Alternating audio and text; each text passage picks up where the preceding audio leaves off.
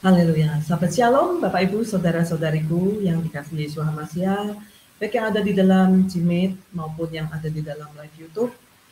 Puji Bapak Yahweh, kembali kita berkumpul pada sahabat hari ini untuk memuji dan memuliakan Elohim kita. Baik Bapak Ibu, Saudara-saudariku, kita mulai untuk penyembahan kita kepada Elohim Sebaot. Silakan Pak. Oke, baik Bapak dan Ibu, syarat shalom semua. Mari kita satukan hati, kita akan melakukan penyembahan kepada Yahweh Sebawa dengan Sema Israel. Haleluya. Sema Israel, Yahweh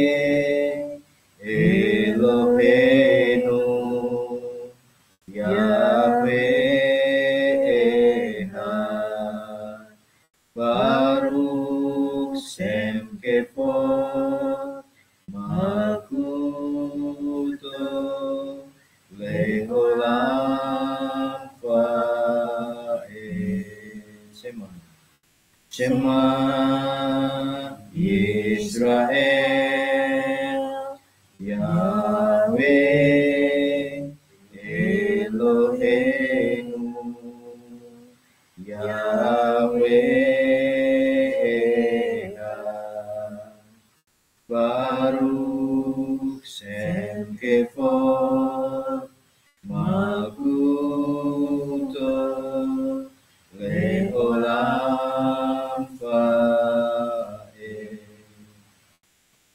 Dengarlah hai Israel, Yahweh Elohim kita, Yahweh adalah Ehad. Diberkatilah namanya mulia dalam kerajaannya kekal sampai selama-lamanya. Kasihlah Yahweh Elohimmu dengan segenap hati dan jiwamu, dengan segenap akal budimu, dan dengan segenap kekuatanmu. Kasihlah sesamamu seperti dirimu sendiri, bahkan mengasihi musuh-musuhmu dan memberkati mereka. Inilah dua perintah yang pertama dan yang terutama bagi kami semua umatmu. Sehingga ketika kami melakukan kedua perintah ini, mengasihi Yahweh Elohim dan mengasihi sesama, maka segala isi Torah dan kitab para nabi yang merupakan perintah-perintah Elohim, yaitu kehendak Bapa Surgawi, telah tergenapi. Terpujilah Bapa Yahweh di dalam Yeshua Hamasiah. Kami mengucap syukur pada sabatmu yang kudus di pagi hari yang indah ini. Engkau telah memanggil kami semua di dalam kesibukan kami, dan kami ada di dalam perhentian. Kami boleh meninggalkan segala hal-hal yang bersifat dunia, bersifat alamiah dalam kehidupan kami. Kami membawa hati kami, jiwa dan roh kami ke hadapan Engkau ya Bapa, sehingga menjadi persembahan yang kudus yang berbau harum di meja kerja Bapa Surgawi. Terima kasih Bapa, biarlah Bapa Yahweh sendiri mengkuduskan, mentahirkan kami semua. Sehingga pada saat kami memuji dan menyembah Engkau, ada roh kudusmu, ada roh Elohim yang menguasai hati dan pikiran kami. Sehingga membuatkan suatu hal yang baik di hadapan Engkau. Terpujilah Bapa Yahweh di dalam Yeshua Hamasiah. Kami berdoa di dalam satu nama yaitu Yeshua Hamasiah yang akan menghadik mengusir segala kuasa roh jahat setan iblis yang mencoba mengganggu ibadah pada pagi hari ini Tuhan biarlah hadirat Roh Kudus yang mengambil alih, melingkupi kami yang ad, di mana pun kami berada, di rumah kami masing-masing. Terpujilah Bapak Yahweh di dalam Yeshua Hamasiah, kami siap untuk memuji dan menyembah Engkau. Haleluya. Sama-sama kita katakan, Amin. Haleluya. Haleluya. Puji Bapak Yahweh, hari ini kita boleh kembali berkumpul untuk bersama-sama kita memuliakan Elohim kita, Mari Bapak Ibu kita memuji dan memuliakannya dengan segenap hati kita. Biarlah apa yang menjadi pujian penyembahan kita menjadi dupa yang harum bagi Elohim Yahweh Sebaot. Besem Yeshua Hamasiah. Haleluya. Terima kasih Bapak Yahweh. Terima kasih karena Engkau telah mengumpulkan kami kembali di sahabat kudusmu ini Bapak. Kami boleh berkumpul bersuka cita bersama Engkau di dalam perhentianmu Bapak. Biarlah Bapak Yahweh, urati kami setiap pribadi, baik yang ada di Jimit maupun yang di YouTube maupun yang ada di sini, agar kami semua boleh bersuka cita bersama Engkau. Maha Israel Yahweh Elohim Sema Israel Yahweh Echad Sema Israel Yahweh Elohim Sema Israel Yahweh Echad Baruch Yahweh Sebaot Elohai Israel Baruch Yahweh Sebaot Elohai Israel. Shema Israel Yahweh Israel Yahweh Shema Israel Yahweh Elohim Shema Israel Yahweh Baruch Yahweh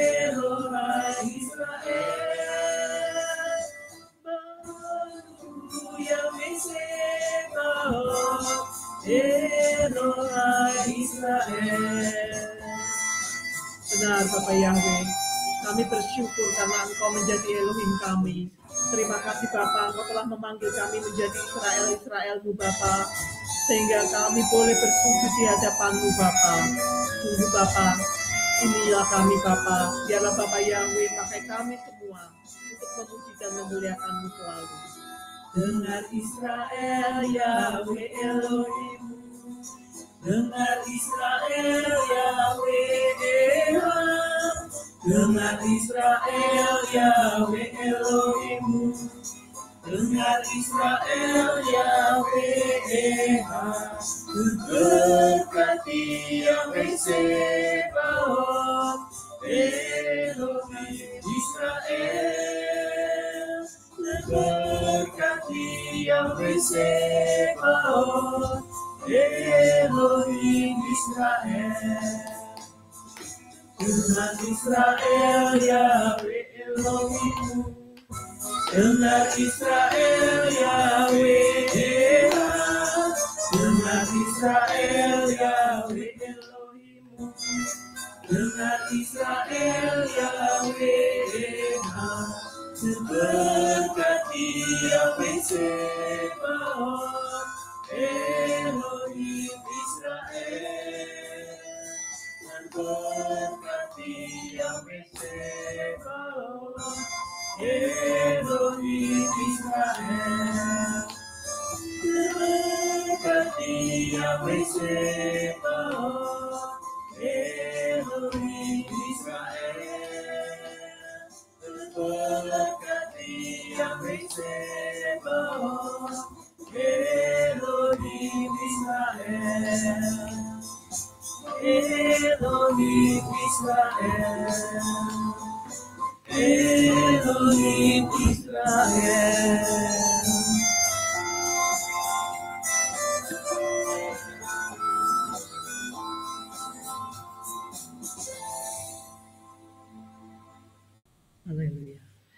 Terima kasih Bapak Yahweh. Terima kasih karena Engkau telah hadir di tempat kami Bapak. Biarlah Bapak kami boleh memuji dan memuliakan Engkau Bapak dengan sepenuh hati kami Bapak. Terima kasih Bapak. Biarlah Bapak di sabat kudusmu ini Bapak, kami boleh bersuka cita bersamamu bersama para malaikat di surga. Kami percaya Bapak bahwa di setiap perhentian yang Engkau sediakan bagi kami, Engkau menyediakan berkat bagi kami, agar kami boleh bersekutu denganmu, sehingga hadiratmu, pengurapanmu turun atas kami. Terima kasih selama satu minggu Engkau sudah menjaga memelihara kami Bapak Yahweh. Berbahagialah orang yang memelihara hari Sabat dan menguruskannya. Berbahagialah orang yang melakukan kebenaran serta keadilan. Abah Yahweh akan memberikan nama abadi yang takkan lenyap. Berbahagia orang yang memelihara hari Sabat dan menguruskannya. Berbahagia orang yang melakukan kebenaran serta keadilan. Aba Yahweh akan memberikan abadi yang takkan lenyap. Sabat kudus, hari perhentian, mari masuk untuk beribadah.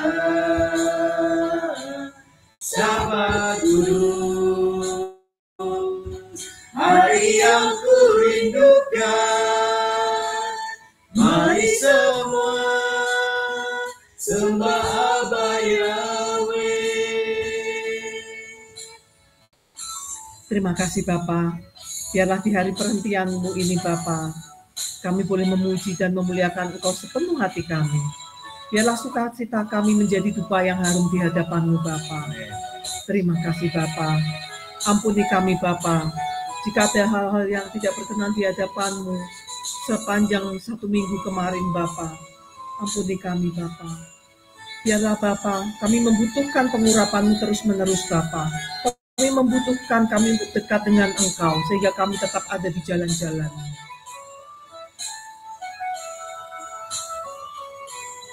Berbahagialah orang yang memelihara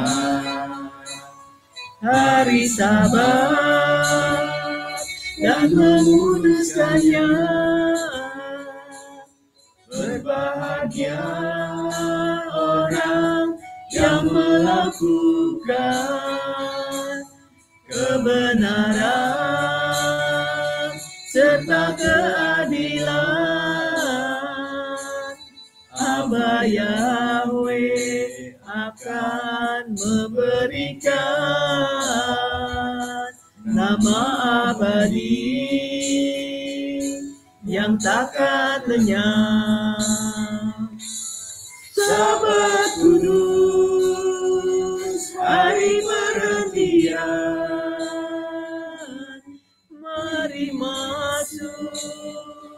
untuk beribadah.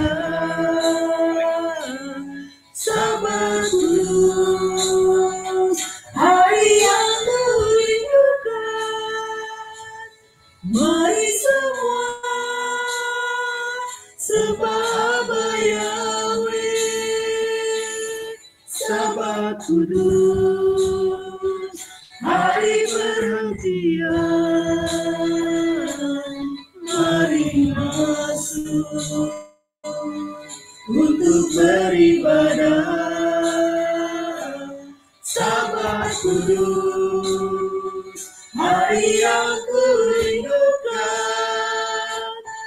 Mari semua sembah Aba Yahweh.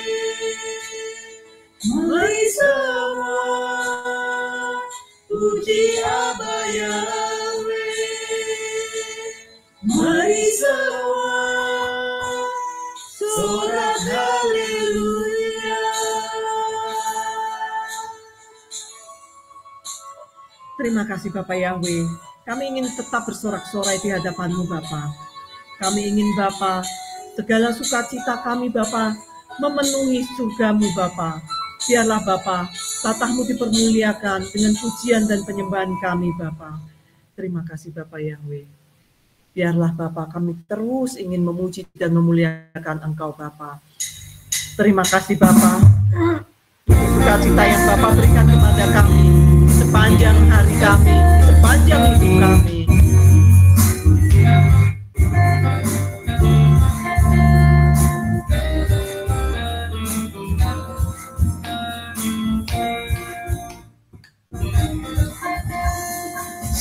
Shabbat, Shalom, Shabbat, Shabbat, Shalom. Let us worship Yahweh. Shabbat, Shabbat, Shalom, Shabbat, Shabbat. Let sing with Yahweh. Shabbat, Shabbat, Shalom, Shabbat, Shabbat, Shalom. Let us worship Yahweh. Shabbat, Shabbat, Shalom, Shabbat, Shabbat, Shalom. Let us sing Yahweh. Sing all heavens and joyful. Let's sing all. Let's be silent. Sing all mountains. Let's the sea There's no creatures. Let's praise Yahweh. Shabbat, Shabbat, Shalom. Shabbat, Shabbat, Shalom. Let us with Yahweh. Shabbat, Shabbat, Shalom. Shabbat, Shabbat, Shalom. Let's celebrate Yahweh. Haleluya. Terima kasih Bapak Yahweh. Biarlah Bapak kami merayakan sabat kudusmu ini dengan sukacita kami Bapak. Biarlah pujian kami kau terima Bapak. Menjadi persembahan yang harus di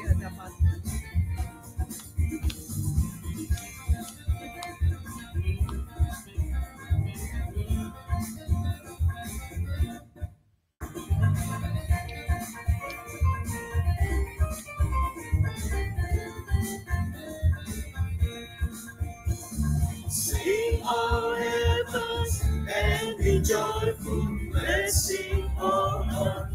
Let's be silent. Sing all mountains. Let's be singing. Let's all creatures. Let's praise Yahweh. Sing all heavens and be joyful. Let's sing all earth. Let's be silent. Sing all Let's all. Let's praise Yahweh. Shabbat, Shabbat, Shalom. Shabbat, Shabbat, Shalom. Let us with Yahweh. Shabbat, Shabbat, Shalom. Shabbat, Shabbat, Shalom. Let us sing with Yahweh. Shabbat, Shabbat, Shalom. Shabbat, Shabbat, Shalom. Let us dance Yahweh. Shabbat, Shabbat, Shalom. Shabbat, Shabbat, Shalom.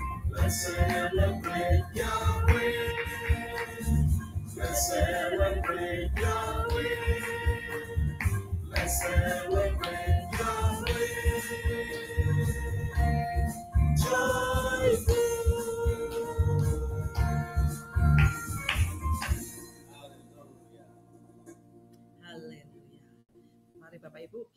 Memuji menyembah Elohim kita. Mari kita bersorak-sorai. Biarlah pujian kita menjadi dupa yang harum bagi Elohim kita. Dan sukacita sukacita Bapak Yahweh juga memenuhi di dalam hidup kita. Haleluya.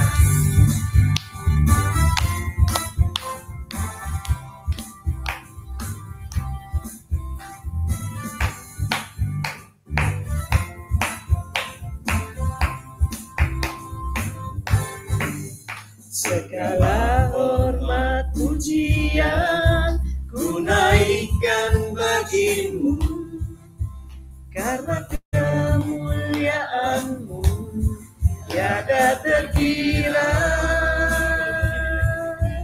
Yahwehlah Elohimku, juru selamat hidupku.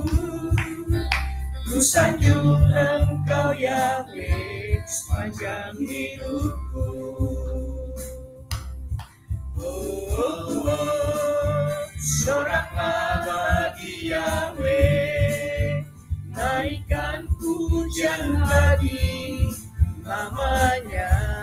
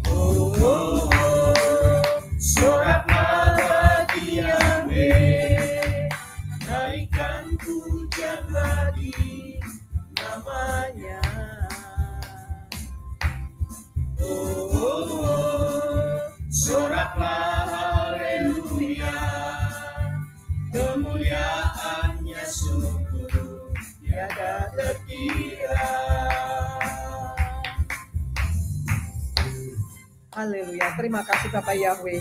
Sungguh kemuliaanmu tiada terkira. Hanya engkau lah yang layak kami sembah, kami puji, kami muliakan.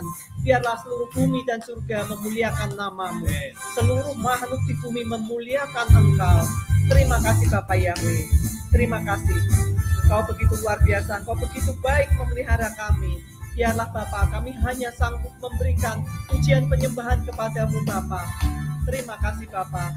Biarlah sukacitamu tetap tinggal di dalam hidup kami. Segala hormat pujian hanya bagimu Yahweh. Sorak-sorai di bumi dan di dalam surga. Yahwehlah Elohimku, Juru selamat hidupku. Ku sanjung engkau Yahweh sepanjang hidupku. Oh, oh, oh, soraklah bagi Yahweh, naikkan pujian bagi Namanya. Oh, oh, oh, soraklah haleluya, kemuliaannya sungguh tiada terkira.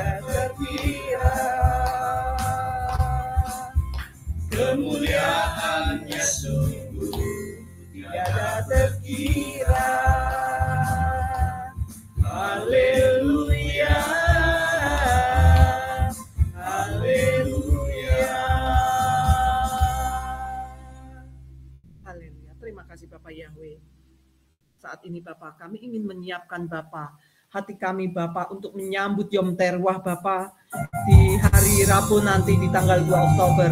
Biarlah Bapak, sangkakalamu Bapak ketika terdengar dan berbunyi, kami boleh bersama-sama bersuka cita bersama Yesus. Pada hari kiamat, bila sangkakala Yahweh terdengar, Ada orang yang semati berkeliling katanya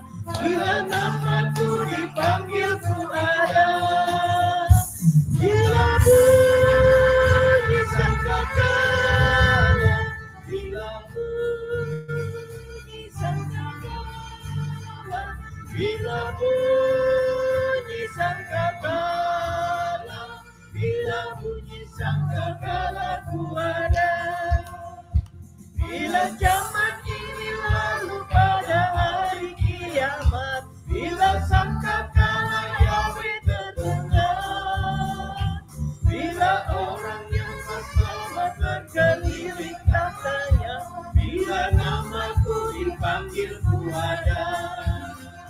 Bila bunyi sangkakala Bila bunyi sangkakala Bila bunyi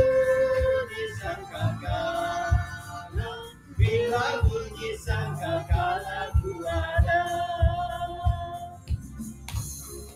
Benar Kami memuji dan memuliakan Engkau. Biarlah Bapak ketika bunyi sangkakala terdengar Bapak Kami juga bersama Yesua Bersama-sama di awan permai Untuk menuju kerajaan Elohimu. Terima kasih Bapak Yahweh karena Engkau telah memanggil kami dan kami percaya semuanya Bapak kami adalah mempelai-mempelai Yesus Masya telah meninggal dalam Tuhannya. Dibangkitkan pada hari mulia. Kami berkumpul dalam rumah yang lestari dan megah. Kalau nama ku dipanggil Tuhan. Bila dulu disangkakan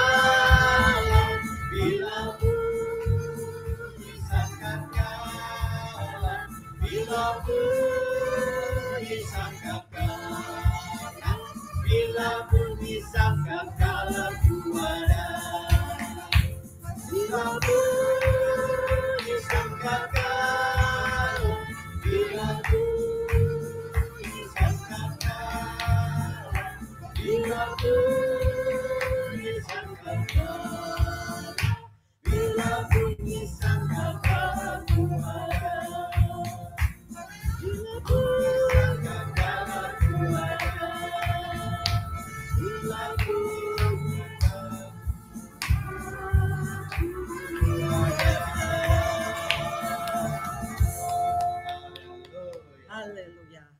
Percaya Bapak Ibu semua bahwa ketika bunyi sangkakala bergema, kita menjadi mempelai-mempelai Yesua Hamasia yang kita layak di- untuk naik bersama Yesua Hamasia. Baik Bapak Ibu, mari kita siapkan hati kita untuk mendengarkan dafar Elohim. Biarlah dafar Elohim menjadi penerang bagi kita sehingga kita akan dilayakkan menjadi mempelai-mempelainya. Terima kasih Bapak Yahweh. Terima kasih ya Yesua, Engkaulah terang itu, Engkaulah firman itu, Engkaulah firman yang hidup. Biarlah kami boleh mendengarkan dafarmu dan kami boleh bersuka cita ketika kami mendengarkan dafarmu, kami mendapatkan pengertian. Terima kasih ya Yesua, terima kasih untuk kehadiranmu, untuk menebus dosa-dosa kami di kayu salib. Biarlah kami menyerahkan hidup kami hanya kepadamu. Saat kau datang memanggilku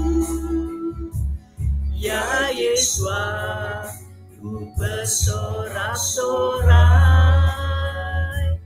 Engkaulah yang selalu ku nanti.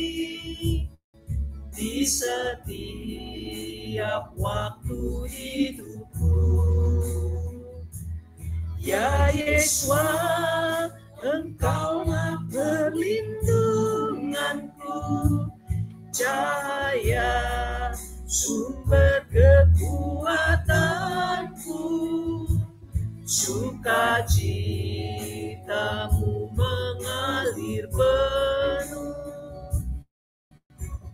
sepanjang kehidupanku.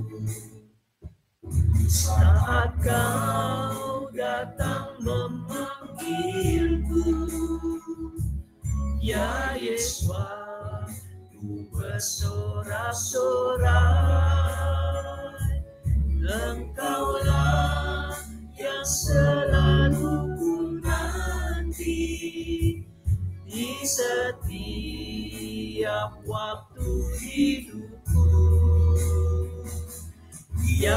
Yesua, Engkau yang ku tinggikan padamu, aku percaya penuh.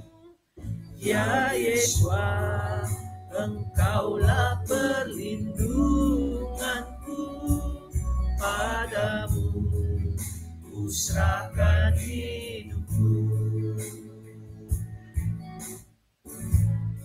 Benar ya Yesua, kami serahkan hidup kami hanya kepadamu. Biarlah kau pakai kami masing-masing pribadi untuk boleh memuji memuliakan engkau dan untuk melayani engkau dan sesama kami. Terima kasih ya Yesua untuk pengorbananmu di kayu salib. Biarlah semua pengorbananmu tidak menjadi sia-sia karena kami ingin dekat dengan engkau, kami ingin bersama dengan engkau. Biarlah dafar-dafarmu menerangi hidup kami sehingga kami selalu mengingat kebaikanmu, mengingat pengorbananmu. Saat kau datang memanggilku, ya Yesua, ku bersorak-sorai, Engkaulah yang selalu ku nanti di setiap waktu hidupku. Ya Yesua, Engkau yang ku tinggikan padamu, aku percaya penuh. Ya Yesua, Engkaulah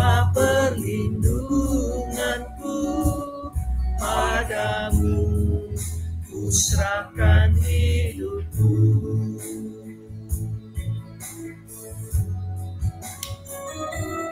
Ya Yesua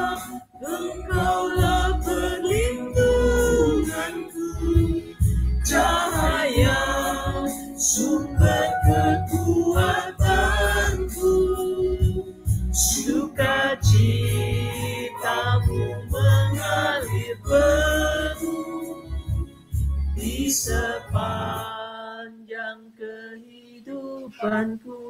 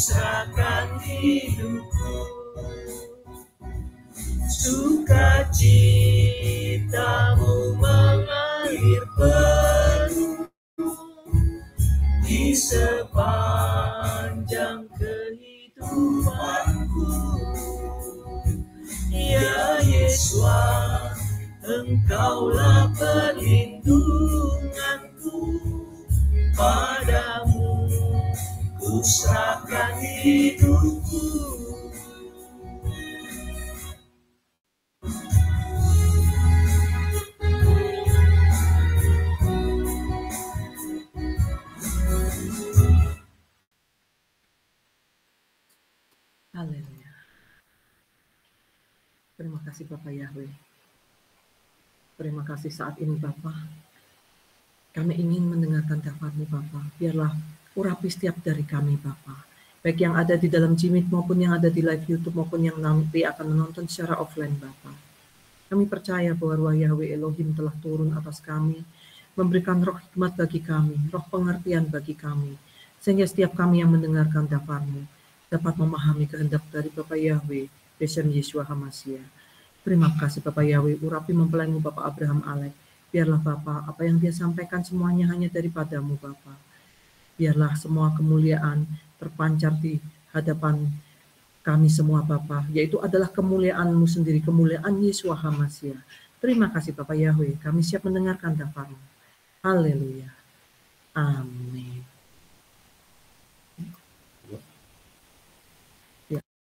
Oke, baik. Sahabat Shalom, Bapak dan Ibu, saudaraku yang dikasih Yesua, sebelum sebelum saya membawakan renungan daftar Elohim, saya akan berdoa terlebih dahulu. Haleluya, terima kasih Bapa di dalam Yesua Hamasya. Engkau begitu baik, sangat baik dalam kehidupan kami. Kini tiba saatnya kami akan duduk untuk mendengarkan renungan daftar Elohim sebagai kelanjutan daripada ministry Adonai Yeshua Hamasya. Dia adalah Elohim kami yang berkuasa atas pengampunan atas dosa-dosa manusia. Terima kasih Bapa, biarlah hadiratmu turun melingkup- melingkupi kami semua, menguasai hati dan pikiran kami, sehingga ketika firman-Mu ditabur, maka firman-Mu akan tumbuh di dalam manusia roh kami. Terutama juga bagi hamba yang akan menyampaikan, kuasai pikiran, hati, dan jiwa seluruh tubuh hamba ini Tuhan terkendali penuh oleh kuasa dari Yeshua Hamasya, sehingga apa yang disampaikan semata-mata daripada isi hati Bapak Yahweh sendiri. Terima kasih Bapa, materaikan kami dengan kuasa darah Yeshua Hamasya, kami siap sambut daftar Elohim. Haleluya. Amin. Amin. Ya, sahabat Shalom semuanya, Shalom. Bapak dan Ibu yang ada di room Jimit, ya, Shalom buat eh, Sister Teresia, Cenona, buat Jiswa, Sister Mona, buat Daniel, buat Sister Sian, buat Sister Molly, adik Paul, Peluk, buat Sister Hana, buat eh, Sister Erna juga ya, juga siapa? Pak Johan, dan juga Pak Aris, juga saudaraku yang lain, puji Bapak Yahweh hari ini, oh, buat Vera juga ya, dan juga saudaraku yang ada di live secara YouTube, ada Sister Yanti dan keluarga. Puji Bapak Yahweh hari ini adalah hari yang luar biasa, karena bertepatan dengan hari ulang tahun Sister Hana ya. Jadi kita mengucap syukur bahwa satu usia satu tahun lagi ditambahkan ya, berarti usia yang panjang bagi Sister Hana ya, puji Bapak Yahweh. Baik Bapak dan Ibu, saya akan masuk di dalam materi pada sahabat yang kudus hari ini.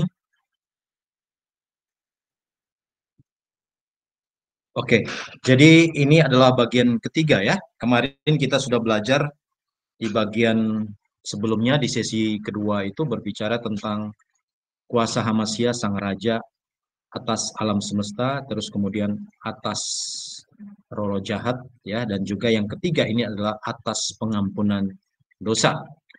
Nah, sebelum saya masuk di dalam materi ini Bapak dan Ibu, saya akan merefresh kembali supaya kita terus mengingat ya bahwa lanjutan ministry Yesua di bumi itu ini adalah kelanjutannya ya karena ketika Yesua bersabda pertama kali di bukit uh, di uh, di da, bukit Galilea itu Danau Galilea di situ Yesua telah meletakkan yang namanya konstitusi kerajaannya. Jadi Bapak dan Ibu harus belajar apa itu konstitusi kerajaan Elohim yang ada di Matius pasal 5 sampai 7. Itu sangat penting Bapak dan Ibu. Ketika kita mengetahui hal itu, Bapak dan Ibu tidak keluar dari koridor. Karena untuk menjadi warga negara harus memahami yang namanya undang-undang dasar. Sama seperti kita sebagai warga negara harus tahu undang-undang dasar 45 supaya kita adalah menjadi warga negara yang baik. Kalau Bapak dan Ibu melenceng atau keluar dari ketentuan yang sudah ditetapkan di dalam undang-undang dasar, tentu kita bisa dideportasi, tidak menjadi bagian di dalam kerajaan Elohim, ya. Jadi PR buat kita atau mungkin Bapak dan Ibu uh, ingin tahu apa itu konstitusi, nanti tinggal cari di pengajaran Injil akhir zaman tentang materi konstitusi kerajaan Elohim. Itu ada tujuh bagian Bapak dan Ibu. Itu sangat penting ya. Jadi setelah itu Yesua melanjutkan ministrinya, dia turun ke Kapernaum. Kemudian kemarin juga kita sudah belajar bahwa Yesua setelah dia menyembuhkan orang kusta, orang uh, lumpuh, hamba dari seorang perwira bangsa Romawi, kemudian dia menyembuhkan uh, apa namanya uh, ibu mertua daripada Rasul Petrus ya, dan kemudian dia menyembuhkan orang-orang sakit yang kerasukan. Ini yang ada menunjukkan tentang tanda-tanda yang bermakna zaman. Ini juga saya sudah menjelaskan secara detail ya, Bapak dan Ibu tinggal cari pengajaran di lanjutan ministry Yesua yang bagian pertamanya ya. Kemudian yang kedua itu jalan mengikuti Yesua, sang raja. Nah, di sini ada dua tok, dua profil atau dua kisah yaitu pertama dari orang Farisi, yang kedua dari salah satu dari murid Yesua. Ya, ini juga saya sudah jelaskan bagaimana kita harus mengikuti Yesua ya. Yang ketiga, nah ini yang bagian ketiga nih. Kuasa Hamasya sang raja yang berkuasa atas angin dan laut, alam semesta dan dia juga berkuasa atas Satan dan roh-roh jahat yang kemarin kita sudah membahas. Ini ketika Yesua berada di tanah Gedara atau tanah Gerasa ya, di tanah orang-orang kafir. Di situ ada dua orang yang kerasukan roh jahat dan Yesua memindahkan ke kawanan babi. Juga kita sudah membahas di sahabat yang lalu. Dan yang ketiga, ini yang akan saya bahas pada hari ini. Berbicara tentang kuasa Hamasya Sang Raja atas pengampunan dosa ya.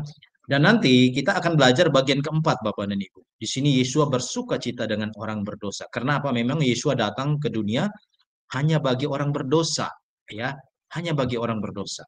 Itu, ya. Maka Yesua bersuka cita dengan orang berdosa supaya apa?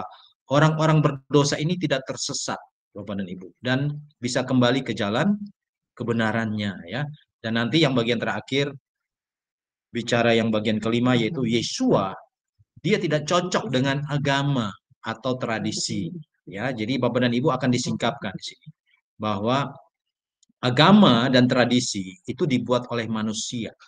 Ya, tradisi pertama itu ketika Bapak dan Ibu melihat ketika uh, Nabi Nuh dia setelah dia mendarat bahterahnya di dataran tinggi ya, kemudian Ararat ya, Ararat dataran tinggi Ararat, kemudian di situ keturunannya itu menuju ke dataran yang lebih rendah, dataran yang rata, yaitu Mesopotamia. Ya, di situlah kebudayaan pertama.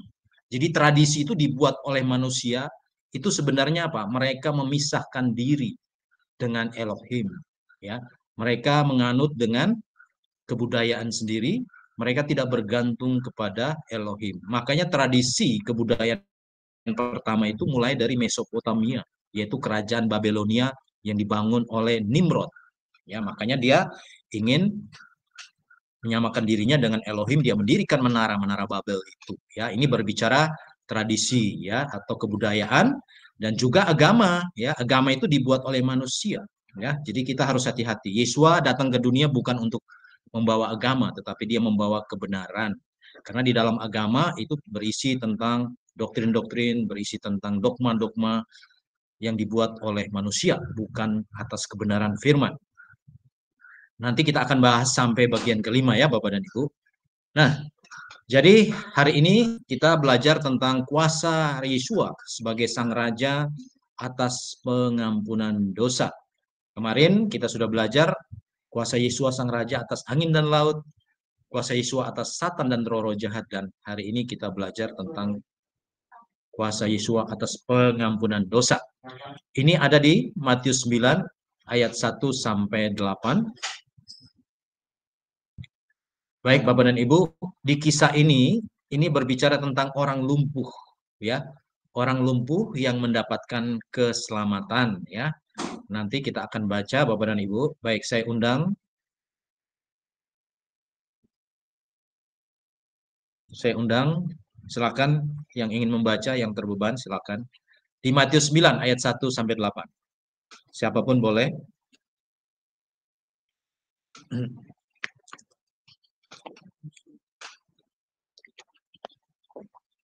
Dan setelah naik ke atas perahu, dia menyeberang dan tiba di kotanya sendiri. Dan lihatlah, mereka membawa kepadanya seorang lumpuh yang terbaring di tempat tidurnya. Dan Yesua setelah melihat iman mereka, dia berkata kepada orang lumpuh itu, Teguhkanlah hatimu nak, kepadamu telah diampunkan dosa-dosamu. Dan lihatlah beberapa ahli kitab berbicara di antara mereka sendiri. Orang ini menghujat. Dan Yesua setelah mengetahui pikiran mereka, dia berkata, Mengapa kamu memikirkan yang jahat dalam hatimu? Sebab manakah yang lebih mudah untuk mengatakan, kepadamu sudah diampunkan dosa-dosamu, atau mengatakan, bangkitlah dan berjalanlah. Namun supaya kamu dapat mengetahui bahwa anak manusia mempunyai otoritas di bumi untuk mengampunkan dosa-dosa. Lalu dia berkata kepada orang lumpuh itu, Bangkitlah, angkatlah tempat tidurmu, dan pulanglah ke rumahmu. Dan setelah bangkit, pulanglah dia ke rumahnya. Dan kerumunan orang itu ketika melihatnya, takjublah mereka. Dan mereka memuliakan Elohim yang telah memberikan otoritas seperti itu kepada manusia. Amin. Amin. Terima kasih Suster Sarah ya. Jadi ini berbicara pengampunan atas dosa-dosa ya bagi orang yang lumpuh tadi. Baik Bapak dan Ibu saya akan membahas ayat per ayat supaya Bapak dan Ibu bisa memahami makna daripada uh, kuasa Yesua atas pengampunan dosa-dosa ya.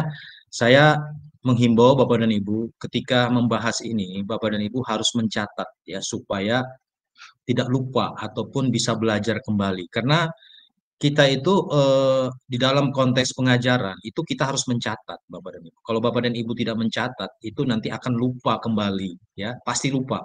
Ya, karena semakin umur nih ke, ke kekuatan pikiran kita tuh semakin menurun sebenarnya ya. Jadi makanya saya sendiri pun Eh, dalam proses saya belajar saya senantiasa mencatat supaya tidak lupa ya. Belajarlah untuk terbiasa untuk mencatat bapak dan ibu karena catatan itu penting ya.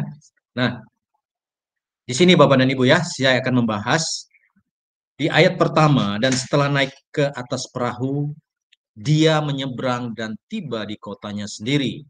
Ya jadi kisah ini bapak dan ibu uh, kalau kita lihat di peta ya, ini ada Danau Galilea atau Laut Tiberias ya. Nah, tanah Gerasa itu di sebelah kanan di sini. Jadi kemarin di bagian kedua kita sudah belajar, eh sorry di bagian ketiga tapi yang sub ya, bagian di mana Yesua dia bertolak ke tanah Gerasa ini, tanah orang kafir. Di sini Yesua telah uh, mengusir ya, memindahkan roh-roh jahat satu legion ya, kekawanan babi yang sangat banyak. Ya, kemudian kita sudah tahu bahwa kawanan babi itu berebutan terjun ke jurang, ke danau, ke air laut itu. Ya. Kemudian di akhir daripada Matius 8 ayat 34 itu, orang-orang yang berada di kota Gerasa maupun pemilik babi kawanan babi itu meminta Yesua untuk menyingkir. Nah, karena Yesua diminta untuk menyingkir, di sinilah kelanjutannya. Yesua naik ya ke atas perahu, dia menyeberang kembali ke Kapernaum. Kapernaum ini kotanya sendiri, Bapak dan Ibu. Ya, dia kembali ke Kapernaum ya, itu ya, ke kotanya sendiri. Itu maksudnya ya. Nah, di ayat 2 dan lihatlah mereka membawa kepadanya seorang lumpuh yang terbaring di tempat tidurnya. Dan Yesus setelah melihat iman mereka, dia berkata kepada orang lumpuh, teguhkanlah hatimu nak, kepadamu sudah diampunkan dosa-dosamu. Nah, Bapak dan Ibu, ketika kita membaca ini, ada suatu pertanyaan di sini. Ya, Yesua melihat iman mereka yang saya garis bawahi di sini. Padahal yang dibawa adalah seorang lumpuh. Di sini menunjukkan iman mereka, berarti berbicara tentang orang banyak ya. Mereka ini menunjukkan orang banyak. Nah, sekarang iman ini iman yang orang lumpuh atau iman orang banyak? Tentu orang banyak karena melihat iman mereka, bukan melihat imannya. Kalau imannya menunjukkan orang lumpuh. Tapi melihat iman mereka, ini berarti orang-orang yang membawa orang lumpuh. Ya, Bapak dan Ibu paham di sini maksudnya, ya. Nah, sekarang mengapa Yesus melihat iman mereka? Ini yang harus kita cari tahu. Ya, Bapak dan Ibu, Nah, saya coba mencari uh, kisah ini di Injil yang lain. Nah, kita lihat di Markus 2 ayat 4 sampai 5. Silakan, Sister. Markus 2 ayat 4 sampai 5. Dan jangan dan karena tidak dapat mendekat kepadanya oleh karena kerumunan orang itu, mereka membongkar atap di atas tempat dia berada. Dan setelah melubanginya, mereka menurunkan tilam yang di atasnya orang lumpuh itu tergantung. Dan setelah melihat iman mereka, berkatalah Yesus kepada orang lumpuh itu, Nak, dosa-dosamu telah diampunkan bagimu. Nah, ini ya, jawabannya di sini Bapak dan Ibu. Kalau di Matius 5 ini, eh Matius 9 ayat 2 di sini, di sini hanya tertulis setelah melihat iman mereka, tetapi di Markus 2 ayat 4 dan 5, inilah jawabannya. Jawabannya apa? Mereka sam sampai bongkar atap Bapak dan Ibu. Kenapa? Mereka tidak bisa menembus ya menembus mendekati kerumunan orang banyak itu. Yesus adalah pusat pengaruh. Ya sebagai pusat center influence-nya pusat daripada pengaruh. Orang-orang datang berbondong-bondong melihat tanda kuasa ajaib yang Yesus telah lakukan ya. Sehingga apa? Mereka berupaya. Ya begitu kerasnya mereka berupaya sampai atap rumahnya dibongkar Bapak dan supaya apa? Bisa menurunkan orang lumpuh itu yang terbaring. Orang lumpuh ini kan orang yang tidak berdaya. Ya, dia tidak mampu, dia tidak bisa berkata-kata karena dia dalam keadaan lumpuh dan lemah. Tapi orang-orang yang membawa ini tentu keluarga dekatnya. Ya. Inilah iman yang disebut iman mereka, ya. Dan setelah melihat iman mereka berkatalah Yesus kepada orang lumpuh itu, "Nak, dosamu dosa-dosamu telah diampunkan bagimu." Ya, sama seperti di Matius ayat 2 ini. Ya, nak kepadamu sudah diampunkan dosa-dosa. Jadi di sinilah Elohim Yeshua itu melihat iman, percaya ya Bapak dan Ibu. Ingat apa pun yang kita alami, ya keterbatasan kita, sakit penyakit, masalah keluarga, masalah uh, keuangan dan sebagainya. Ingat engkau akan diselamatkan karena iman, ya. Jadi mari harus bangkitkan iman kita supaya apa? Elohim Yeshua itu bekerja ya. Makanya kita harus berseru memanggil nama Yeshua supaya Elohim diberi akses jalan untuk menjama menanggulangi setiap perkara yang kita hadapi. Nah, di sini Bapak dan Ibu, kita lihat berdaya upayanya orang-orang yang membawa uh, seorang lumpuh ini ya sampai mereka membongkar atap ya, sangat luar biasa. Nah, di sinilah Yesua ya Yesua melihat iman. Jadi iman, iman mereka ini dilakukan dengan perbuatan, Bapak dan Bukan hanya berkata-kata, saya beriman, tidak begitu. Tetapi harus dinyatakan dengan perbuatan. Ya, iman tanpa perbuatan itu apa? Sia-sia ya. Jadi iman itu percaya, ya definisinya iman ya. Iman itu adalah percaya. Itu berbicara apa? Percaya, yaitu dasar dari perkara-perkara yang diharapkan dan bukti dari hal-hal yang tidak kelihatan ya. Jadi kita percaya terhadap sesuatu yang menjadi harapan kita, Tetapi harapan itu belum terlihat, belum terwujud.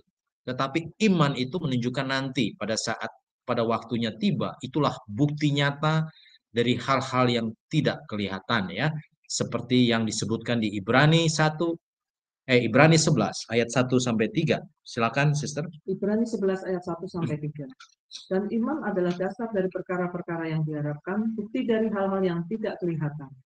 Sebab dalam hal inilah para leluhur telah dijadikan kesaksian.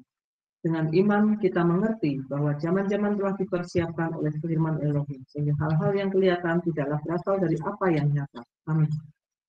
Jadi Bapak dan Ibu lihat, bagi setiap umat percaya, ya hal yang paling penting itu adalah berbicara iman. Ya iman itu adalah komponen komponen yang paling penting bagi orang percaya. Iman ini tidak bisa kita beli ataupun kita jual kepada orang lain ya atau kita berikan kepada teman-teman keluarga. Nggak bisa bapak dan ibu. Karena iman itu adalah milik setiap pribadi. Nah iman itu tumbuh karena ada roh Elohim pertama kali jadi roh Elohim ini yang bekerja kepada setiap orang manusia itu pertama roh Elohim itu memanggil dulu, memanggil untuk menginsafkan, ya. Nah, ketika dia sudah dipanggil dan ketika dia sudah insaf, di situlah dia percaya, di situlah iman mulai dibangun, iman sudah mulai terbentuk. Nah, iman ini akan terus bertumbuh jika engkau melakukan apa? Memperhidupkan roh Elohim yang itu sudah yang sudah ada berdiam di dalam manusia roh kita itu engkau harus menjaga supaya roh Elohim itu terus bertumbuh menumbuhkan manusia roh kita iman kita ini.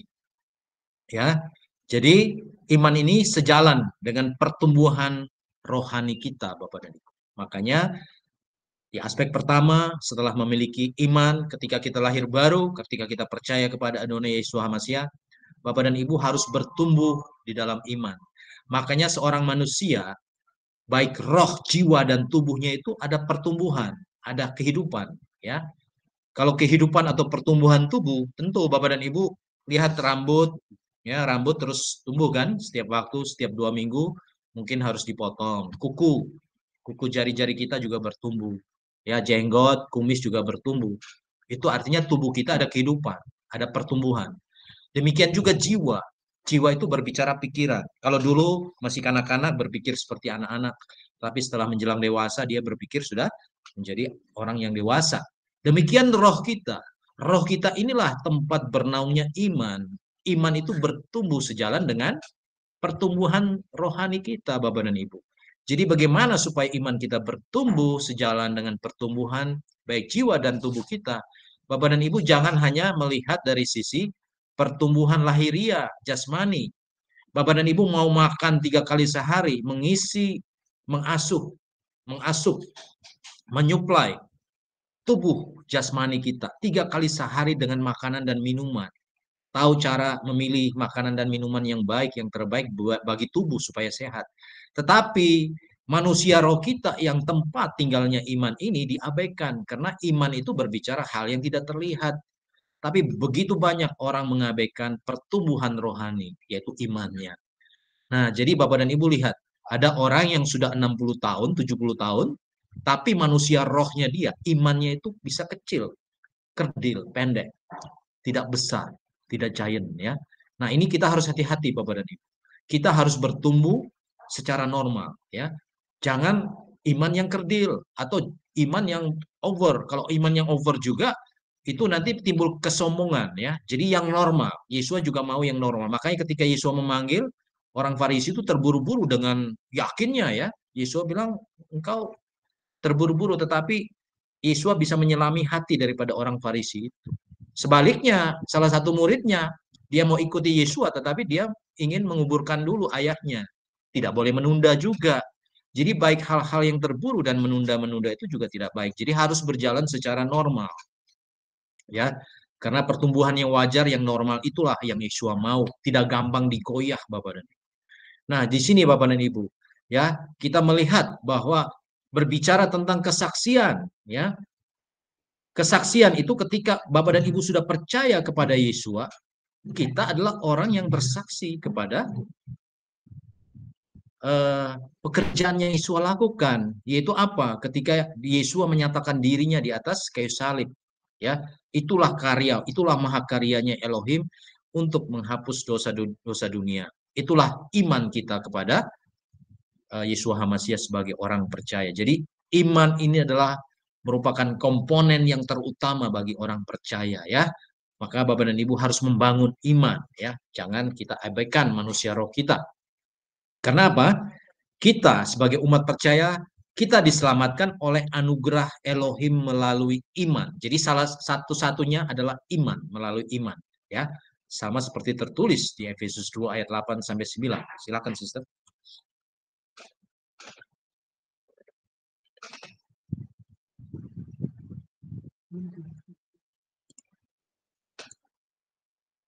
Efesus 2 ayat 8 sampai 9.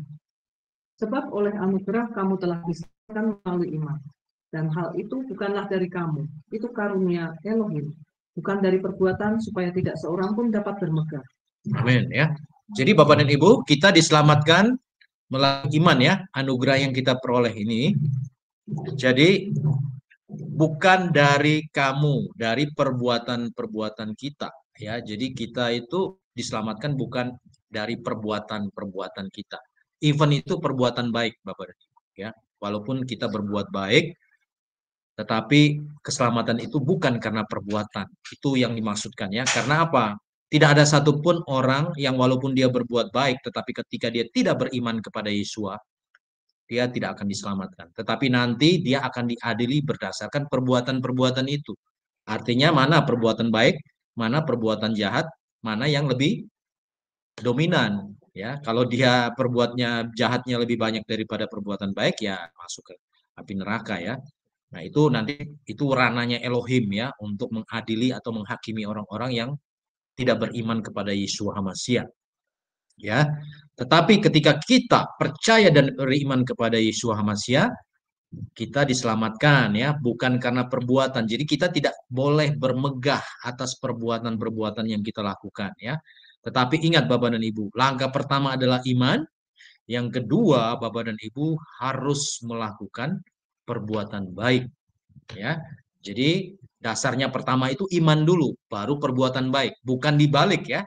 Baik kayak banyak orang di luaran sana banyak orang baik, betul. Banyak orang baik yang menolong sesama dan sebagainya. Tetapi mereka tidak percaya kepada Yesua. Itu masalahnya. Ya, belum tentu selamat. Belum tentu selamat karena pengadilan penghakiman Yesua itu dalam kebenaran keadilannya dia, dia akan menimbang berdasarkan perbuatan baik dan perbuatan jahat. Ya, tetapi ketika kita percaya dan beriman kepada Yesua, kita telah menerima keselamatan itu.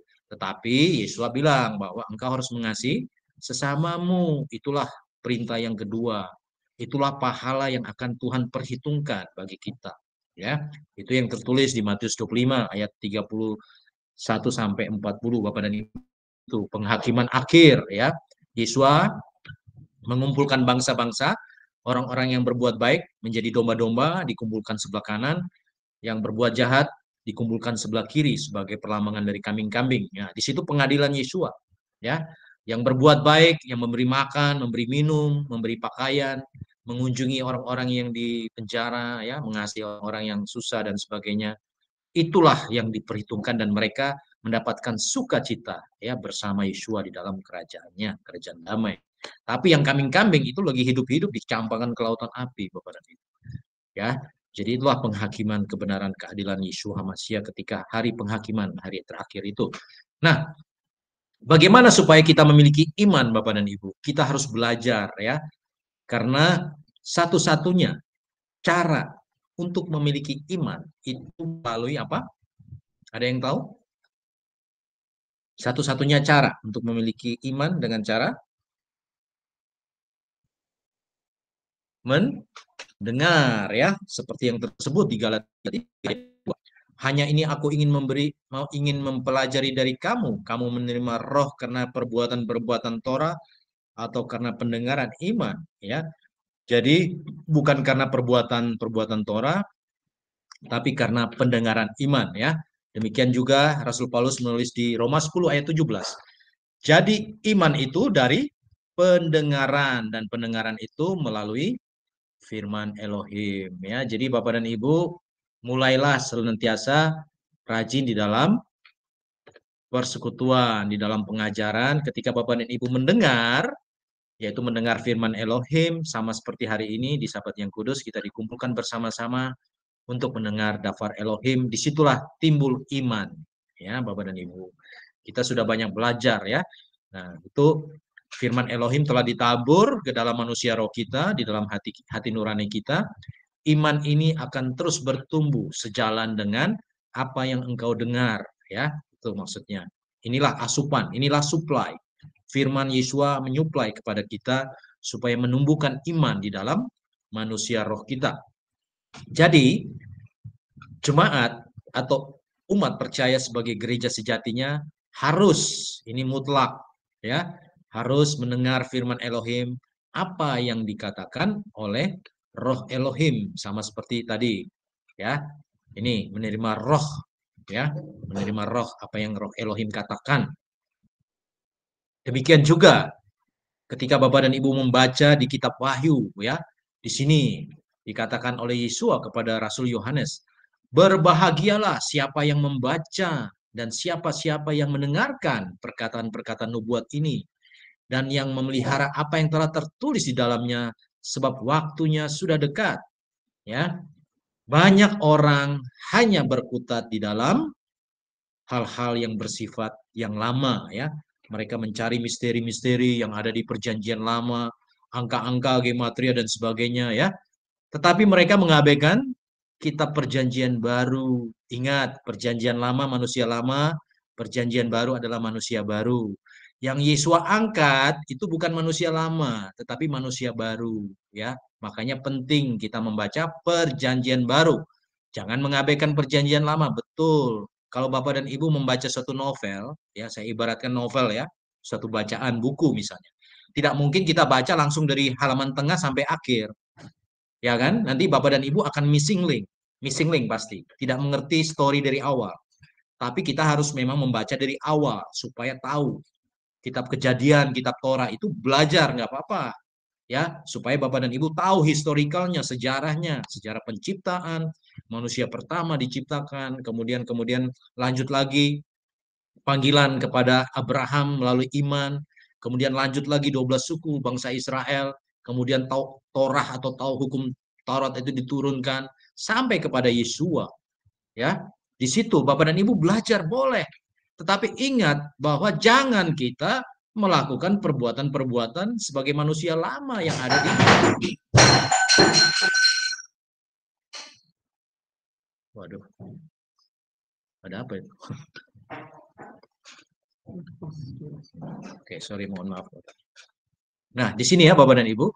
Jadi kita harus mengacu kepada apa yang tertulis di dalam nubuatan di kitab Wahyu karena kitab Wahyu itu berbicara tentang akhir zaman ya berbicara tentang kitab Wahyu itu berbicara tentang gereja Bapak dan Ibu ya. Makanya di pasal Wahyu pasal 2 ini Yesua berbicara tentang gereja. Ya, yang akan diangkat oleh Yesua Adonai itu gereja Bapak dan Ibu, bukan manusia lama. Manusia baru itu adalah gereja. Ya, makanya ini hal yang penting. Banyak orang mengabaikan hal itu. Mereka belajar tentang 70 minggu, belajar tentang uh, apa namanya?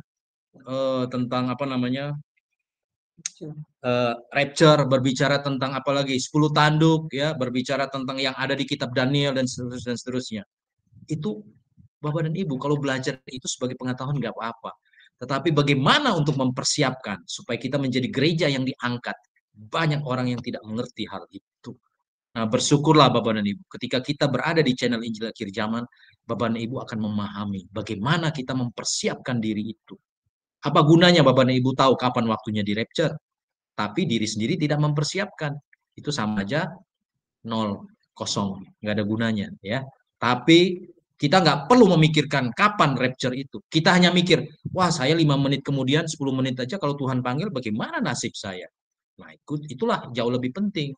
Mempersiapkan lima menit, tiga menit ke depan apa yang terjadi, itu jauh lebih penting daripada Bapak dan Ibu memikirkan yang rapture yang kita belum tahu kapan karena yang tahu cuma Bapak surgawi malaikat surgawi aja nggak tahu loh ini kok ada orang-orang yang berusaha untuk mengungkapkan hal itu. Dia mengambil kuasa Elohim. Yesus sudah bilang bahwa hanya Bapa surgawi. Ya kita nggak usah mereka-reka hal itu. Ya, jadi Bapak dan Ibu lebih baik mempersiapkan diri kita sebagai gereja sejatinya, sebagai umat pemenang, sehingga pasti akan directure. Itu yang jauh lebih penting yang harus kita mengerti dan harus kita pahami ketika Bapak dan Ibu mendengarkan pengajaran Daftar Elohim, di situlah Bapak dan Ibu akan mampu untuk mempersiapkan diri ya. Nah, di sini berbicara tentang iman tadi dengan mendengar ya. Siapa yang mempunyai telinga, biarlah dia mendengarkan apa yang roh katakan kepada gereja-gereja. Bagi dia yang menang, aku akan memberikan kepadanya makan dari pohon kehidupan yang ada di tengah-tengah Firdaus Elohim. Jadi inilah Bapak dan Ibu. Ketika kemarin kita belajar di kitab kejadian, Adam dan Hawa diciptakan. Di situ Elohim telah menempatkan pohon kehidupan sebagai supply bagi manusia pertama tetapi oleh hasutan dari si nahas atau si iblis ular tua itu, mereka beralih ke pohon pengetahuan baik dan jahat. Mereka tidak bergantung kepada pohon kehidupan. Padahal Bapak dan Ibu tahu pohon kehidupan ini adalah gambaran Elohim sendiri. Sedangkan buah dari pohon pengetahuan baik dan jahat itu adalah gambaran si iblis. Manusia cenderung untuk memilih hal-hal yang buruk daripada hal-hal yang baik. Itulah manusia yang jatuh di dalam dosa ya. Diberi free will tetapi dia salah menggunakan free will-nya. Jadi Bapak dan Ibu saat ini juga kita memiliki free will. Kebebasan untuk berkehendak, berkeinginan ya, ber, bebas juga untuk memilih. Ingat di sini Yesus memulihkan kembali pohon kehidupan yang ada di Taman Eden itu dipulihkan kembali nanti ketika pengangkatan gereja-gereja sebagai orang pemenang akan menikmati ya makan dari pohon kehidupan yang ada di tengah-tengah Firdaus itu. Inilah pemulihan bagi ciptaan manusia dan pemulihan ketika Elohim menciptakan manusia itu untuk memulihkan bumi ya bumi pasti dipulihkan melalui kerajaan damai Yesua yang berada di dalam uh, sabat yang terakhir ya hari yang ketujuh yaitu seribu tahun bagi manusia. Nah sekarang Bapak dan Ibu bukan hanya mendengar kalau Bapak dan Ibu sudah mendengar daftar Elohim, meresapi dan merenungkan, ya, tetapi Bapak dan Ibu juga harus menjadi sebagai pelaku, ya, juga melakukan firman Elohim itu.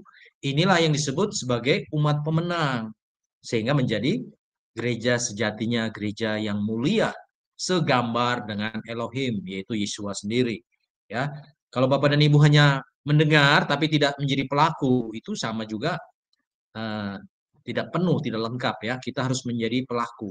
Setelah mendengarkan firman, kita harus menjadi pelaku supaya apa yang kita perbuat sesuai dengan perintah-perintah Elohim itulah yang dicatat oleh Elohim Yesua sehingga apa? Bapak dan Ibu akan diberikan suatu pahala mahkota kehidupan pada saat nanti ketika kedatangan Yesua. Demikian juga yang disebutkan di Yakobus 2 ayat 20. Silakan sister.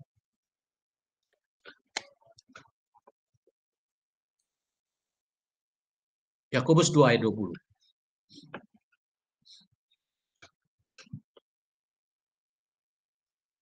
Yakobus 2 ayat 20. Ayat 20. Namun engkau, hai manusia fana, maukah engkau mengetahui bahwa iman tanpa perbuatan adalah mati? Yakobus 2, 26. Ayat 26. Sebab seperti halnya tubuh tanpa roh adalah mati, demikian pula iman tanpa perbuatan adalah mati. Amin ya. Jadi di sini ketika pewahyuan oleh Roh Elohim kepada Rasul Yakobus dikatakan bahwa iman tanpa perbuatan adalah mati. Ya, sama seperti tubuh tanpa roh adalah mati. Jadi Bapak dan Ibu sudah punya iman, Bapak dan Ibu harus sebagai pelaku ya. Jangan hanya iman saja setelah mendengar terus pasif, jangan, harus aktif ya harus mengekspresikan apa yang telah engkau terima wahyuan dari roh Elohim diekspresikan lewat perbuatan lewat per, perkataan kita. Sehingga apa? Orang-orang di sekitar kita juga akan diinsafkan ya di, dipanggil ya untuk menerima keselamatan menerima anugerah. Di sinilah bapak dan ibu ketika Yesus melihat bahwa iman mereka itu yang demikian luar biasanya sampai membongkar atap rumah dan menurunkan orang lumpuh itu ya Yesus tergerak untuk menyembuhkan orang lumpuh itu ya. Luar biasa ya. Jadi Bapak dan Ibu, karena imanlah ya awal muala, muasalnya awal mulanya kita harus punya iman dulu ya. Iman adalah komponen yang terutama bagi orang percaya di dalam kehidupan sehari-hari ya. Dan kemudian di ayat 2 eh sorry. Saya lanjut ya. Di sini Yesus katakan apa? Ya, setelah melihat iman tadi, dia berkata kepada orang lumpuh itu, teguhkanlah hatimu kepadamu sudah diampunkan dosa-dosamu. Jadi sudah diampunkan dosa-dosamu. Ini menunjukkan bahwa orang lumpuh itu sakit karena perbuatan dosa-dosanya. Ya, Bapak dan Ibu tahu nggak? Akibat dari dosa itu banyak hal yang kita akan alami, ya kutuk, ya biasanya begitu. Kalau orang yang melakukan dosa pasti akan menerima kutuk. Kutuknya itu banyak macam Bapak dan Ibu. Tergantung perbuatan dosanya. Ya. Jadi saya tidak membahas kutuk-kutuk ya, tetapi ingat Bapak dan Ibu. Setiap perbuatan dosa itu pasti akan menerima hal yang buruk ya, ketidakadilan. Ya. Ada dosa yang di ada sorry, ada sakit penyakit yang disebabkan oleh dosa, ada sakit penyakit yang disebabkan oleh roh-roh jahat. Ya. Jadi artinya begini, ketika seseorang nih misalnya dia dia punya bisnisnya bagus, kemudian ada orang lain yang sebagai pesaing bisnisnya tidak suka sehingga orang tersebut dia pakai cara-cara yang tidak baik, pakai cara perdukunan, kemudian dia menyantet atau membuat hal yang buruk kepada orang yang sebagai saingan bisnis. Kemudian orang itu sakit. Ya. Jadi sakitnya orang itu bisa kena kuasa roh jahat atas suruhan ya. Tetapi ada dosa uh, uh, sorry, tetapi ada sakit penyakit yang diakibatkan adalah dosanya sendiri. Contoh misalnya seorang perokok atau seorang narkoba ya. Dia tahu bahwa merokok atau uh, memakan atau meminum narkoba itu adalah perbuatan jahat, perbuatan dosa, tapi dia melakukan. Ini akibatnya apa? Yaitu mulailah timbul kanker pada payu apa pada paru-parunya ya orang yang narkoba lebih parah lagi ya sistem sarafnya semua akan rusak bapak dan ibu nah akibat daripada dosa perbuatannya ini dia mengalami sakit ya dalam sakitnya dia bertobat misalnya tetapi akibat dari dosa perbuatannya dia harus menanggung sakit penyakit itu sampai akhir hayatnya dia kalau Tuhan berkenan Tuhan bisa singkirkan penyakit itu tapi ingat bapak dan ibu kita jangan melakukan hal itu dosa ya. Kita harus sadar bahwa ketika kita melakukan dosa, di situ kutuk akan menyertai. Pasti orang-orang yang melakukan perbuatan dosa akan mengalami kutuk penderitaan. Ya. Jadi di sini menunjukkan pernyataan Yesus bahwa teguhkanlah hatimu nak kepadamu sudah diampunkan dosa-dosa. Di sini menunjukkan secara tersirat bahwa orang lumpuh itu sakit karena perbuatan dosa-dosanya. Nah, setelah sembuh, Yesua ingatkan bahwa orang itu harus teguhkanlah hatinya. Supaya apa? Supaya jangan berbuat dosa dosa lagi, Bapak. Setiap manusia harusnya seperti itu. Ketika kita telah menerima kesembuhan dari perbuatan dosa kita, Bapak dan Ibu harus teguhkan ya hati kita. Sudah menerima keselamatan, kesembuhan, Ingat kebaikan yang telah Yesus berikan. Jangan lagi berbuat dosa. Kalau Bapak dan Ibu lakukan lagi perbuatan dosa, artinya Bapak dan Ibu akan mengalami lagi penderitaan. Nanti jadi lingkaran setan di situ. Ya. Bolak-balik di situ terus, tidak bisa keluar. Sayang Bapak dan Ibu. Kita jangan buang-buang waktu ya dengan perbuatan-perbuatan dosa. Sudah bukan zamannya lagi Bapak dan Ibu ya. Hari ini sudah mendekati akhir zaman kita harus benar-benar berjalan teguh di dalam iman kepada Yesua. Makanya salah satu cara pengudusan itu yaitu dengan apa? Tekun dalam pengajaran persekutuan pemecahan roti dan berseru kepada nama Yesua itu adalah bentuk pengudusan supaya kita teguh berjalan. Kalau tidak Bapak dan Ibu tidak melakukan empat hal ini dalam doa kita berseru nama Tuhan, di dan Ibu akan iman itu tidak tidak seteguh ya, tidak seteguh orang-orang yang aktif dan setia di dalam persekutuan. Itu pasti berbeda.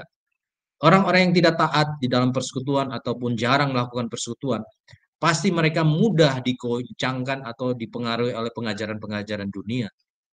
Ya, di sini Yesua berpesan kepada orang lumpuh tadi harus teguh ya hatinya dan jangan berbuat dosa lagi. Karena apa? Karena akibat daripada perbuatan dosa ini sering saya katakan ada tiga hal Bapak dan Ibu. Bapak dan Ibu boleh catat ya supaya ini bisa menjadi pengajaran buat Bapak dan Ibu ketika berjumpa dengan orang-orang yang akan kita layani, kita injili. Perbuatan akibat dosa itu pertama, dia akan pasti terpisah dari Tuhan, terpisah dari Elohim. Ya, tentu kalau sudah terpisah dari Tuhan, dari Elohim, berarti berkat, perlindungan, damai sejahtera, sukacita, janji, warisan itu hilang. Nggak bakalan terima karena terpisah, terputus. Jadi jangan mimpi Bapak dan Ibu. Kalau sering melakukan dosa, mau mendapatkan hak warisan, itu jangan mimpi. Ya, jaga, jangan mimpi. Nggak bakalan bisa terima. Surat wasiat yang Yesus sudah berikan, nama kita sudah dicatat di dalam buku kehidupan. Itu kan surat wasiat. Nama Bapak dan Ibu dan saya sudah tercatat di dalam buku kehidupan. Waduh, bersyukur dan bersuka cita kalau nama kita sudah ada di dalam surat wasiatnya Yesua, di dalam buku kehidupannya. Lah sudah sudah mendapatkan nama tertulis kok malah berbuat dosa lagi. Tuhan coret dari surat wasiat itu coret. Begitu hari penghakiman dibaca nggak ada namanya. Ya nggak terima warisan, terpisah dari Elohim. Ya, jangan main-main dengan dosa. Ya, sama seperti saya ilustrasikan. Seperti misalnya dalam cangkir air ini atau botol ini yang berisi uh, racun. Ya, saya bilang ini ini air, silahkan diminum. Kalau bapak dan ibu minum mati kan, benar kan? Karena nggak tahu kan. Tapi kalau misalnya katakan di awal, eh ini racun loh, ini saya saya tunjukin ya. Ini racun saya tes ke binatang nih, misalnya ke hewan, ke kucing. Tes sedikit aja, setetes. Wah begitu dia cicip langsung mati. Bapak dan Ibu kalau tahu dosa itu seperti melihat kucing yang mati ketika dia mencicipi racun itu mau nggak buat dosa? Karena sudah melihat wah itu benar-benar racun. Tapi dosa itu ditutup dengan hal-hal kenikmatan. Bapak dan Ibu tidak sadar. Tapi nanti akhirnya binasa loh. Nah, jadi Bapak dan Ibu punya persepsi bahwa dosa itu seperti kita minum racun. Pasti binasa, maut. Ya, jadi jangan main-main dengan dosa. Karena dosa itu dikemas oleh iblis dengan sesuatu yang menggiurkan, sesuatu yang menikmat, yang betul dengan kenikmatan, sehingga Bapak dan Ibu tidak sadar bahwa di balik perbuatan dosa itu adalah kematian. Dia tutup rapat-rapat. Ya, dosa jina, dosa cabul, berdusta, berhala apa pun. Ya, kalau Bapak dan Ibu melakukan dosa itu pasti menuju kematian, pasti. Sama seperti ketika racun tadi yang saya ilustrasikan.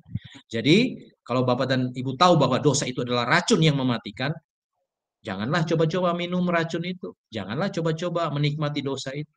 Pasti menuju kematian. Ya, Oke, Bapak. Saya lanjut ya. Nah, karena akibat perbuatan dosa, hal yang kedua, menderita kutuk. Ya. Dan yang ketiga, menuju kematian. Ya. Jadi tiga hal ini yang akan dialami setiap orang yang melakukan perbuatan dosa. Tapi ingat Bapak dan Ibu, kita masih diberi waktu dan kesempatan untuk kembali ke jalan Elohim ya, ke jalan kebenaran. Makanya jangan sia-siakan waktu. Ketika engkau telah mendengarkan panggilan melalui firman Elohim, segeralah action. Jangan tunggu Bapak dan Ibu. Jangan menunda-nunda. Karena kita nggak tahu semenit kemudian kita nggak ngerti. Hidup kita tuh seperti asap, ya, seperti asap. Keluar asap sebentar hilang, ya. Jadi bijaksanalah dengan dirimu. Ketika panggilan itu sudah mengetuk hatimu, segeralah take action ya. Jangan menunda-nunda, karena waktu kita nggak tahu kapan. Ya, waktu kita itu seperti uh, pencuri ya, dia datang tanpa berbicara dulu, memberitahu kita dulu, ya. Jadi harus hati-hati dengan waktu kita, bijaksana dengan waktumu. Ketika kita ulang tahun pun, ingat Bapak dan Ibu, Kita mengucap syukur ada penambahan satu tahun lagi Tuhan memberi berkat buat kita. Tapi di balik itu, usia kita tuh sudah semakin dekat menuju garis final. Ya, di satu sisi kita mengucap syukur, tapi di sisi lain kita harus bijaksana bahwa hidup kita tuh semakin dekat dengan garis final. Ya, dua sisi ini yang banyak orang hanya melihat dari sisi yang pertama, mengucap syukur, dia merayakan ulang tahunnya dengan heboh, dengan hebatnya. Tapi di sisi lain, dia tidak mempersiapkan nanti ketika garis final itu tiba di waktunya, dia tidak mempersiapkan dirinya. Nah, ini yang jadi masalah kebanyakan orang seperti itu.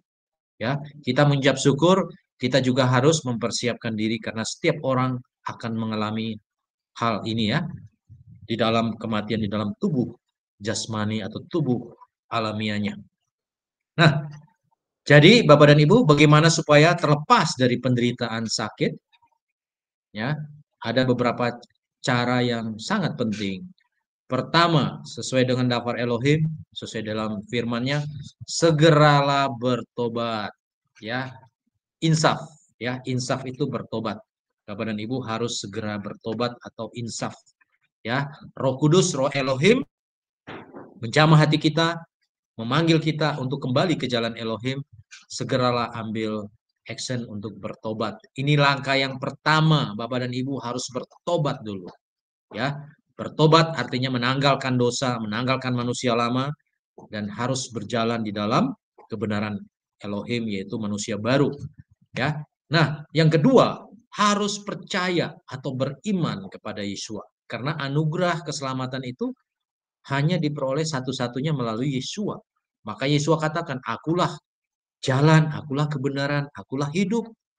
Tak seorang pun datang kepada Bapakku tanpa melalui aku. Jadi satu-satunya hanya melalui Yesua. Tanpa Yesua kita nggak bisa sampai ke rumah Bapa di surga. Jadi harus beriman kepada Yesua.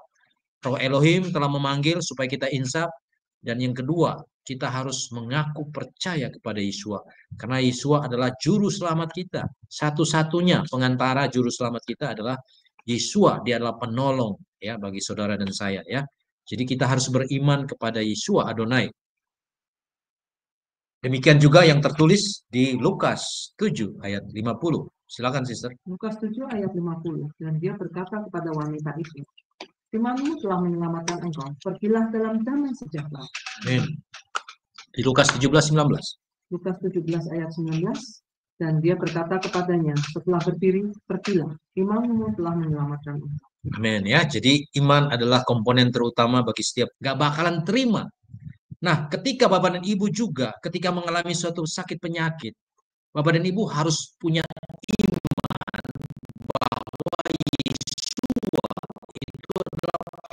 penjamin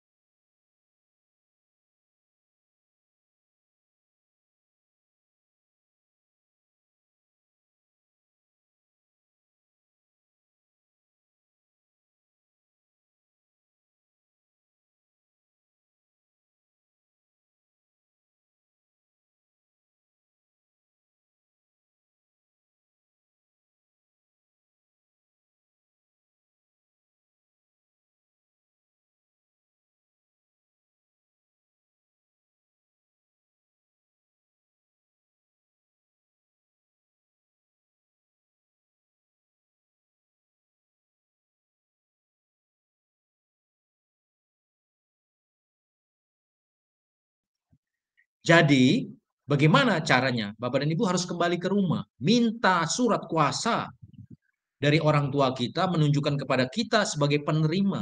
Itu surat kuasa tuh penting. Baru Bapak dan Ibu bisa mencairkan deposito sebagai warisan itu. Nah, Yesua telah memberikan surat wasiat buat saudara dan saya.